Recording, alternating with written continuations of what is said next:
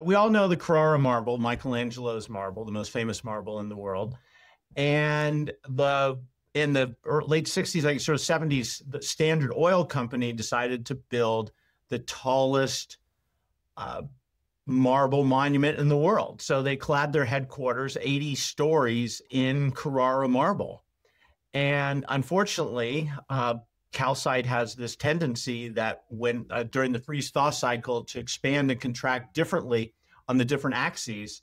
And when you they cut the stone into the thin panels, the way panels are held onto a building is say the panel's up one and a half inches wide.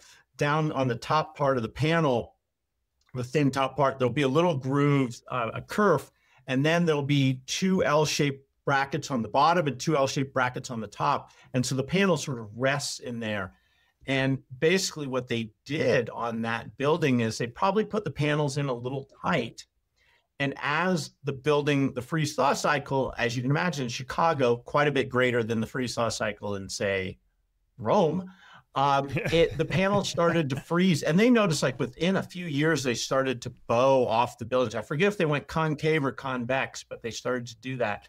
And after a little bit, two panels fell off. I mean, from pretty high up. I mean, you know, these are panels that are what, a couple feet wide and a couple feet tall. I mean, this is a couple hundred pounds. Unfortunately, no one was either injured or killed from it.